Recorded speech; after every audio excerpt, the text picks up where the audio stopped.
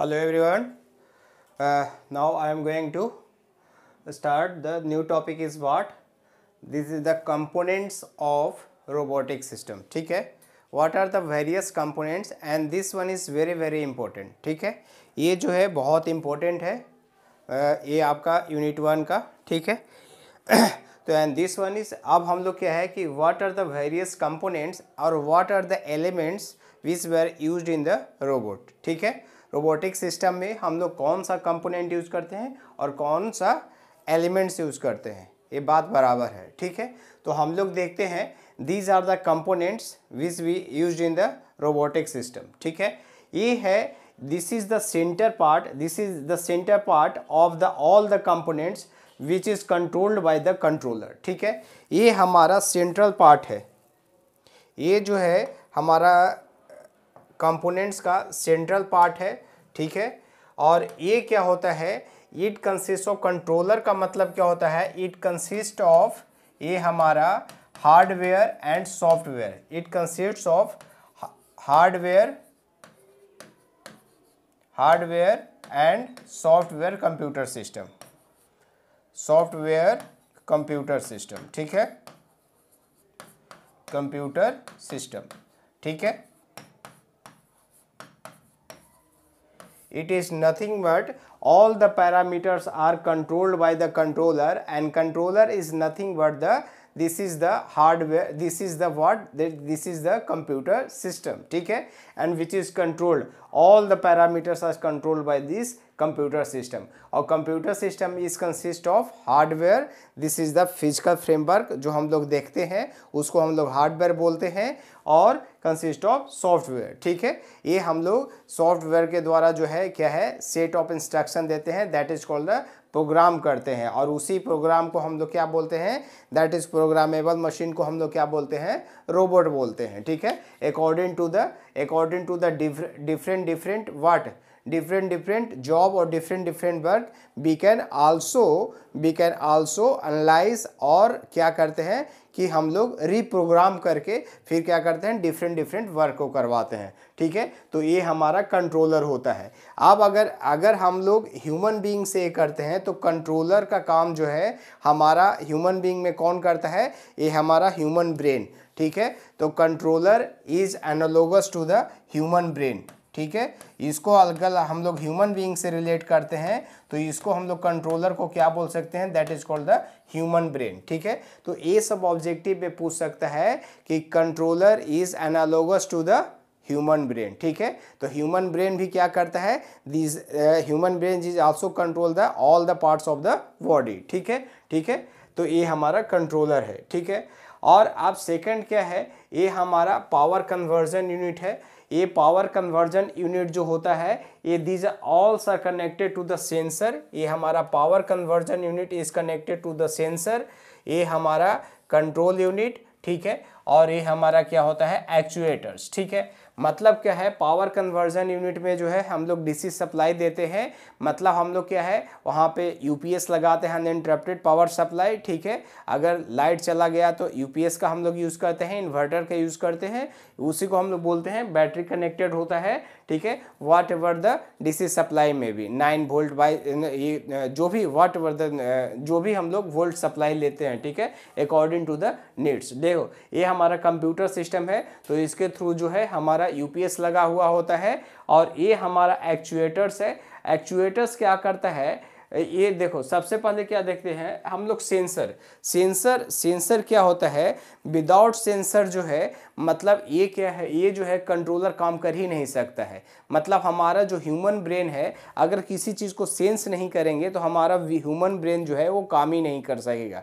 ठीक है? तो ये सेंसर क्या होता है sensor is nothing sensor is nothing but the measuring device measuring quantities ठीक है? ये हमारा मेजरिंग क्वांटिटीज़ होता है। ये क्या है? मेजरिंग क्वांटिटीज़ ठीक है? मतलब क्या है सर ये क्या है? ये क्या मेजर करता है बेटा? ये हमारा पोजीशन को मेजर करता है। ये हमारा पोजीशन को मेजर करेगा। फिर क्या, किसको मेजर करेगा? वेलोसिटी को मेजर करेगा। हमारा फोर्स को मेजर करेगा। और किसको मेजर करेगा सर फोर्स को मेजर करेगा, ठीक है? फिर हमारा टॉर्क को टॉर्क को बताएगा। हमारा टॉर्क ये सब सारा चीज़ जो है, ये ये हमारा सेंसर क्या करता है? ये हमारा मेजरिंग डिवाइस है। तो this is the basic ideas about this ठीक है? ये हमारा मेजरिंग डिवाइस है। आप देखो यूज़र इंटरफेस यूज़र इंटरफेस क्या करता है? यूज़र इंटरफेस क्या है? कि that is connected to the controller जो भी है मान लो कि हमारा जो है वो uh, कोई डिफरेंट डिफरेंट काम करना है। ठीक है? तो ये क्या करेगा कि रीप्रोग्राम करेगा with the help of software ठीक है? With the help of coding और रीप्रोग्राम करके वो डिफरेंट डिफरेंट रोबोट के द्वारा जो है वो काम करवाएगा, ठीक है? तो ये हो गया।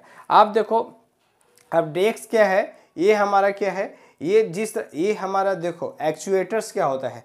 एक्चुएटर्स क्या देता है कि हमारा मोशन मतलब ये मूवमेंट को ये करता है, ठीक है? ये हमारा मूवमेंट को देता है, ये मूवमेंट प्रदान करता है बाय गिविंग द एनर्जी ठीक है?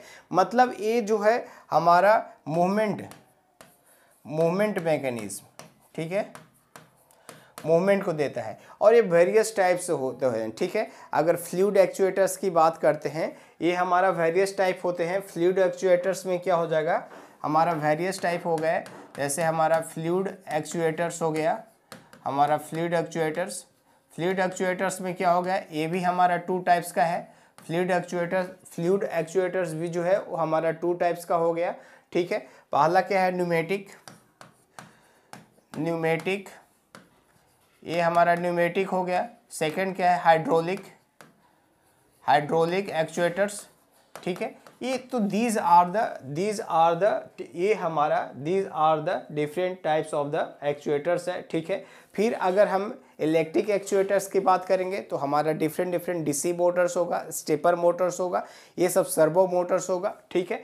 हमारा न्यूमेटिक का मतलब क्या होता है? एयर से। तो हम लोग जो प्रेशर देते हैं, वो थ्रू द एयर ठीक है? मतलब वर्क ऑफ़ ऑपरेशन जो करवाते हैं, वो through the air hydraulic hydraulic actuators का मतलब हो गया वहाँ पे आयल का यूज़ करते हैं, ठीक है? हम लोग जो भी वर्क ऑफ़ ऑपरेशन करवाते हैं थ्रू द आयल ठीक है? और फिर इलेक्ट्रिक एक्चुएटर्स जो हो गया, आगे हम लोग देखेंगे, ये बारीकी से सारा चीज़ देखेंगे। ये बेसिक आइडियाज़ हम लोगों ने बताया है। तो ये आपका सारा चीज़ हम इसको देखेंगे ठीक है?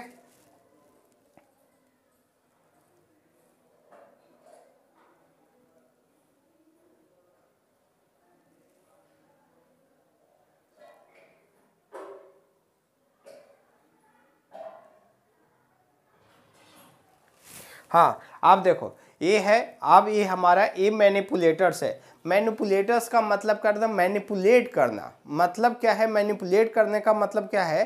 कि वो काम करना। मैनिपुलेट करने का मतलब क्या है? अगर ह्यूमन बीइंग से ह्यूमन के पार्ट्स ऑफ़ बॉडी से अगर इसको हम लोग रिलेट करते हैं तो मैनिपुलेटर को हम लोग क्या बोलेंगे?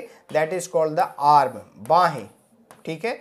Human arm is related to the manipulator मतलब क्या है? ये हमारा जो बाहें हैं, ये पूरा, ये है हमारा मैनुपलेटर और ये बाहें क्या करता है? ये हैंड जो क्या करता है? वो क्या करता है कि वो पिक करता है और फिर ऑपरेशन करता है. कोई भी चीज़ पिक करता है, फिर ऑपरेट करता है. तो यही, ये जो है, इसका भी काम यही होता है. ऑपरेट करता है मतलब पिक करेगा जो भी हमारा रॉ मटेरियल है, उसको पिक करेगा और जहाँ पे उसका यूटिलाइजेशन होगा, जहाँ पे उसका नीड होगा, वहाँ पे वो क्या करेगा? ट्रांसफ़र करेगा. ठीक है? तो मनुमुलेटर का मनीपुलेटर का, ये सब यूजेज होते हैं। मतलब it is analogous to the अगर ह्यूमन बीइंग का पार्ट्स ऑफ़ बॉडी से जब इसका कंपेयर किया जाए तो this is call this is nothing but the arm ठीक है? और ये आर्म जो ये हैंड होते हैं, ये आर्म जो होता है, वो किससे किससे कनेक्टेड होते हैं?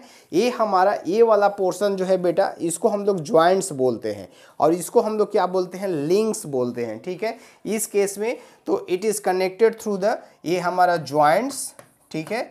ये हमारा ज्वाइंट्स और लिंक को क्या करेगा? हमारा कनेक्ट करके रखेगा, ठीक है? ये हमारा मनीपुलेटर का मेन एप्लीकेशन है, ठीक है? तो ये हम लोग एक आइडियाज़ जो है, हम लोगों ने देखा है कि ये बेसिक आइडियाज़ है। आगे हम लोग सारा चीज़ करेंगे, ठीक है? तो ये हमारा बेसिक आइडियाज़ है कंपोनेंट्स का, ठीक है? So it's all about the today's class thank you everyone